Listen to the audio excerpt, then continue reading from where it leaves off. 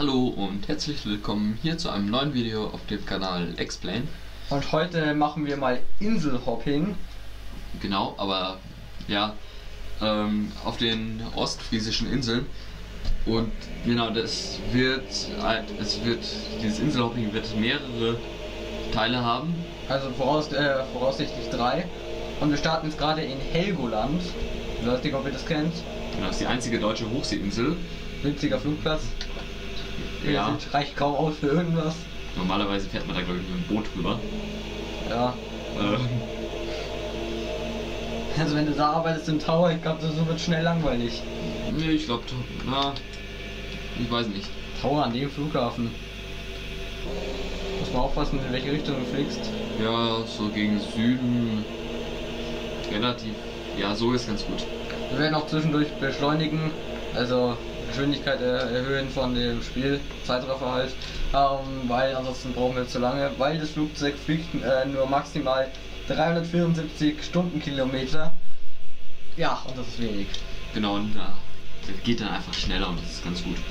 Die Reichweite beträgt 1900 Meter, Spannweite 12 Meter, Länge 9 Meter und Höhe 3 Meter, also alle technischen Daten. Ja, gibt's, viel mehr gibt es hier zu sagen. Ähm, Wir, sind ja keine Doku hier über äh. Flugzeuge. wir kennen ja jetzt hier nicht irgendwie die ganzen Flugzeugfakten auswendig. Ja. Ähm, Wir müssen uns die auch erstmal holen. genau. Ähm, ja, dieses Flugzeug ist vorinstalliert in X-Plane. Der Baron B58, glaube ich, ist, oder? Ja. Ja, B58, doch passt, ja. Ist ein etwas älteres Flugzeug. 1961, also. Zwei Motorik, Propeller. Genau, und ähm, wir fliegen jetzt gerade von Helgoland nach Norderney. Und von Norderney geht es dann weiter mit einer Cessna 400, die sechs Meilen nach Jüst. Also es wird echt ein Mini-Flug. Und es gibt auch, also es, wir haben uns das nicht ausgedacht, das gibt es auch in echt. Ähm, da gibt es so Unternehmen, die veranstalten so Inselhopping. Das heißt, du setzt dich für ein Schweinegeld in ein Flugzeug. Ja, und lässt sich dann über die Insel mit dem Flugzeug fliegen, was total bescheuert ist. Es gibt nämlich auch Boote. Du kannst ja mal auf die Karte gehen, dann sieht man nochmal genau unsere Flugroute. Genau.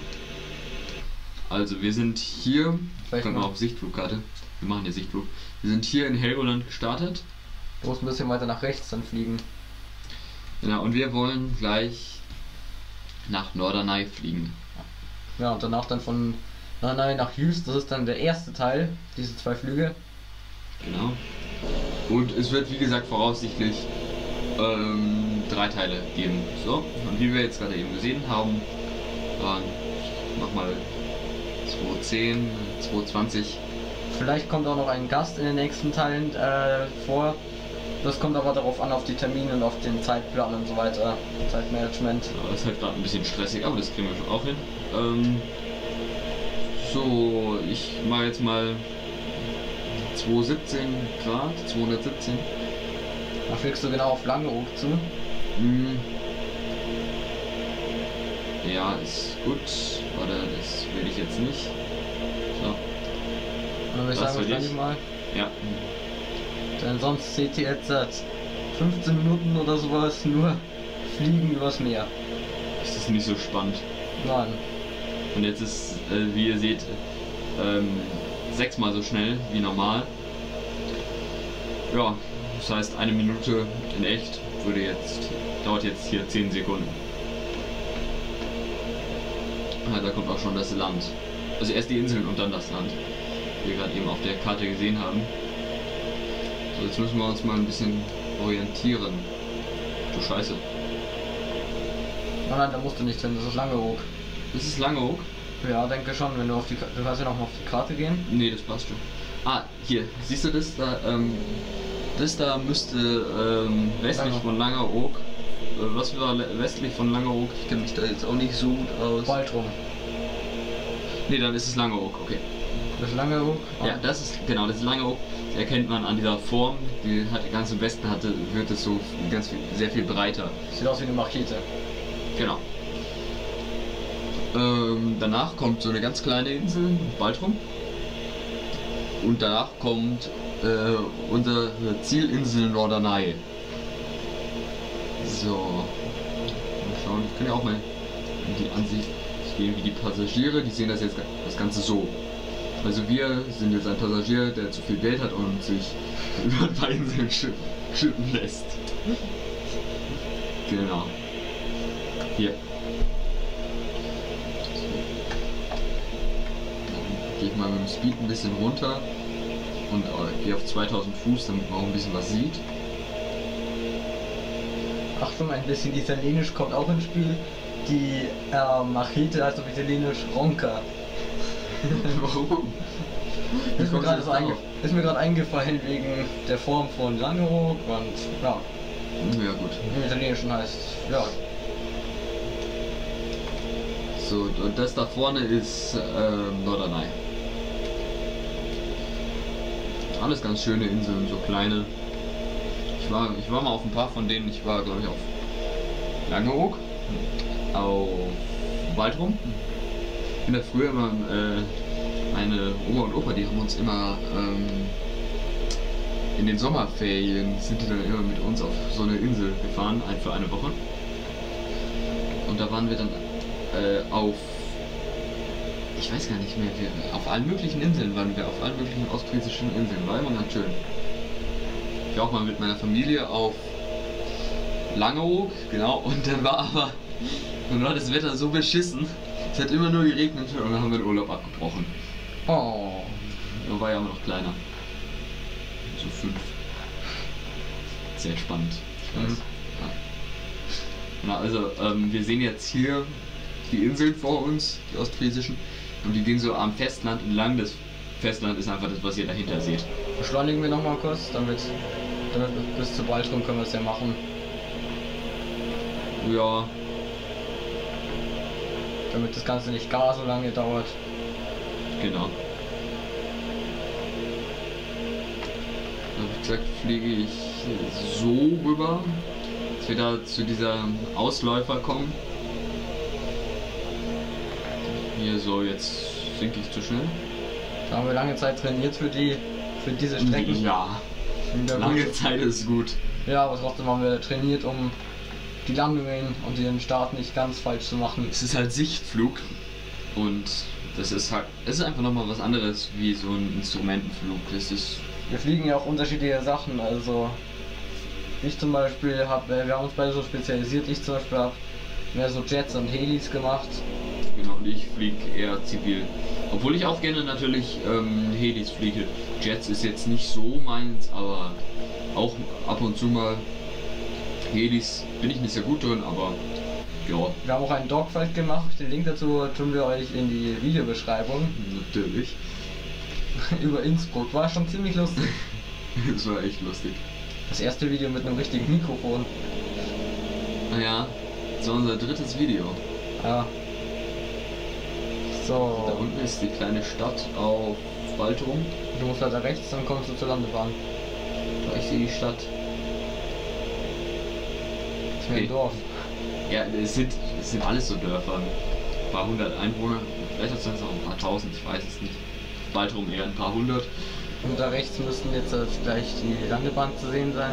Mm, Da vorne. Da ist sie, ja. Okay, dann mal zu dem Ausläufer. Auf Baltrum gibt es keinen Flugplatz. Ja, du machst es zu weit, glaube ich, oder? Nee, nee, das passt schon. Die Landebahn ist doch schräg. Ja, ich glaube nicht.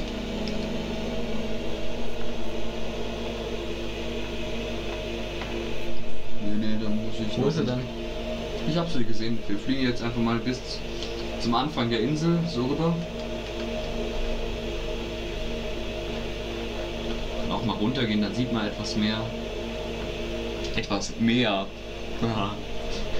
Oh Mann. Hier schon wieder mit unseren hochwertigen Blitzen. Natürlich. Fehlt uns noch ein Schlagzeug, was immer bedummt macht. Kannst du ja machen. Ja, ich habe schon heute nach einer Handy, Handy-App danach gesucht. Ernsthaft? Ja, ich habe mir schon überlegt gehabt. Meinst du jetzt extra für die Videos oder? Ja, auch. Wir sind ja heute so krasse Überflieger. Geht's mir auf?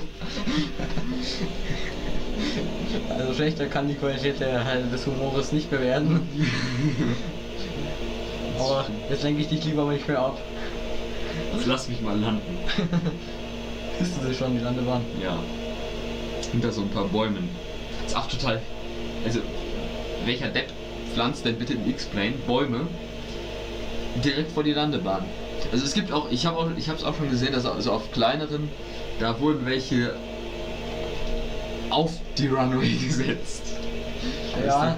Zum Beispiel, ich habe mal versucht, eine Weltumrundung zu machen und musste feststellen, dass in einem russischen, auf einem russischen Flughafen namens Kirov Pobebilovo äh, irgendwo im Nirgendwo einfach auf der Startbahn, die gerade mal einen Kilometer lang war maximalst, ähm, Bäume gepflanzt waren. Man hat einfach nicht gesehen. Man hat das Ende nicht gesehen. Man wusste nicht, wo man abheben musste. Das ist doof. Seitdem habe ich nicht mehr weitergemacht. Bist du immer noch äh, da? Ja, ich wusste nicht, mit welchem Flugzeug ich überhaupt weiterfliegen sollte, weil da fliegst du locker drei Stunden bis zum nächsten Flughafen. Irgendwo in der Mitte von Russland. So, ja. Einfach nur Wald. Kannst ja Richtung Süden fliegen.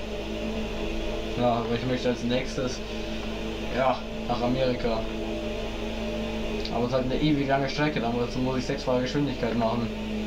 Ja, wenn du einen Au- Autopiloten hast. Ja. Ich hab's ja nicht ganz so mit dem Warten und mit Passagierflugzeugen.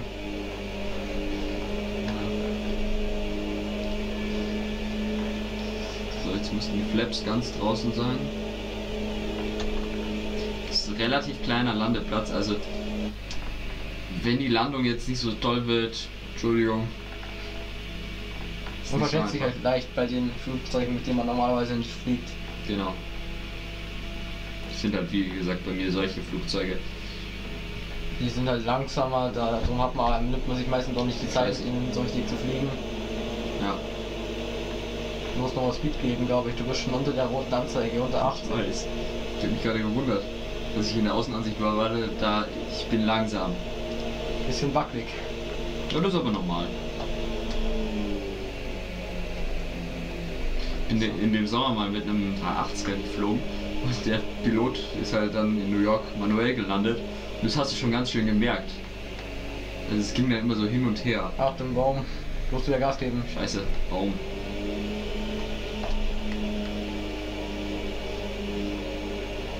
So, da jetzt aber. Scheiße. Okay, tut mir leid. Zu früh aufgesetzt. Ach Mist. Naja, wie gesagt, wir sind nicht gewohnt mit General Aviation zu fliegen.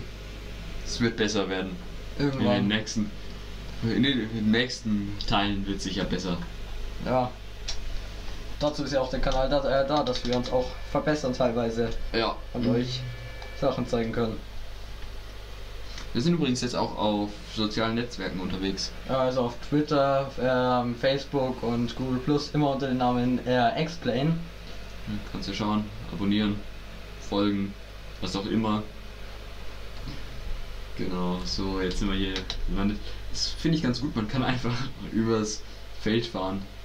Muss nicht irgendwelche bescheuerten Taxiways nehmen.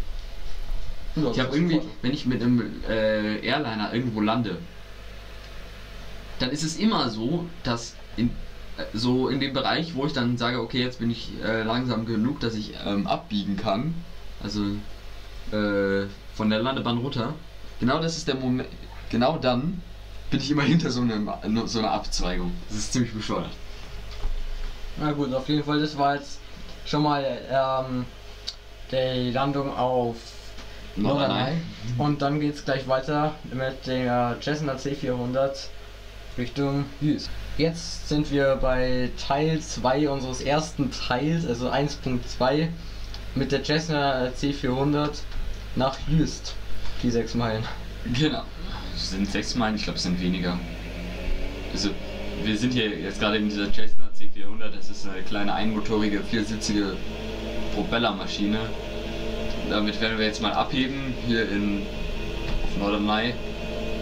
Mussten eine 180 Grad Wende machen, um nach Jüst zu kommen. Genau. Wir werden dann die Insel noch entlang fliegen. Wie ihr seht, es ist mehr so ein Sportflugzeug. Ja, auch die Maximalgeschwindigkeit sind bloß 435 km/h. Gut, klingt noch nicht so nicht so, äh, so viel. Ist aber an der- andererseits auch nicht wirklich, äh, wirklich äh, so langsam. Aber Reisegeschwindigkeit sind nur 315 km, also 120 km/h schon wieder langsamer. Und halt Spannweite 11 Meter und Länge 7,7 Meter. Mehr gibt nichts zu erzählen zu dem Flugzeug. Ja. Das ist relativ simpel. Ist vorinstalliert, oder? Ja, Ich war mir jetzt gerade nicht sicher. Und wie ihr seht, also wir sind gerade. Ja. Sehr gut. Wir sind da vorne. Wo sind wir denn? Ja, da irgendwo sind wir. zu Abgehoben. tief. So hoch. Äh, zu hoch. Äh, sehe ich auch gerade. Äh, da sind wir abgehoben. Da vorne schon der nächste Land äh, der Landebahn. Und da werden wir landen. Also wirklich kurzer Flug. Wir befinden uns schon im Landeanflug. Ja, kaum dass wir gestartet sind. Also das ist wirklich der unspannendste Teil an der an dem ganzen Flug. Wahrscheinlich bei allen Flügen insgesamt. Ja, Sogar hier mit Mond. ja. Und Fähren. Hier da vorne. Zufälligerweise immer mit einem. Ups. Ich glaube, du solltest besser mal im Kopf bleiben. Ja. Diese, also die fahren an äh, echten Routen entlang. Das ist schon ganz cool. Der Ton von, au von außen, der man denkt sich innen drin ke- äh, gar nicht so kleiner Motor und dann geht man nach außen und dann hört der sich an wie so ein Elektromotor. Ich glaube, das ist eine ziemlich stark, also der hat eine ziemlich gute Leistung, dieses Flugzeug. Ja. Landeanflug. Fahrwerk kann man gar nicht ausfahren oder einfahren. Nee, das ist hier so, Festgemacht. ja, äh, geht nicht. Ein wackeliges Ding an sich. Das ist immer, das ist immer so nervig, wenn du dann wieder zurück ins 3D-Cockpit gehst. Dann schaust du einfach auf die Instrumente und nicht nach draußen. So, jetzt sind wir schon auf Wüst. Noch landen. Hier mit dem Strand. Erschrecken wir mal die Urlauber. Ja. Zum Glück keine Vögel und Rehe auf der Bahn, weil die können sehr ungewöhnlich werden. Ja, Ja, ist ja gut. Vielleicht ein Speed weg. nee, noch nicht. Flap schon draußen. Okay, Speed wahrscheinlich weg. Wie viele Flapsstufen hat die Kiste nochmal? Ich weiß gar nicht. Vielleicht ein, zwei. Willst du wahrscheinlich auch gar nicht wissen. Eine. Brauchst du denn nicht? Ja, ein bisschen zu hoch. Oder? So. Touchdown. Jetzt. Touchdown. Sagt man das so, oder? Touchdown, ja.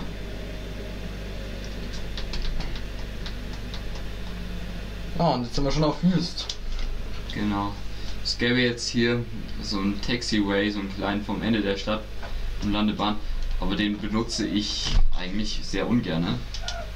Muss ich sagen, weil der so mini mini klein ist. Da muss man echt so, musst du total langsam rein und Wie präzise. Autofahren.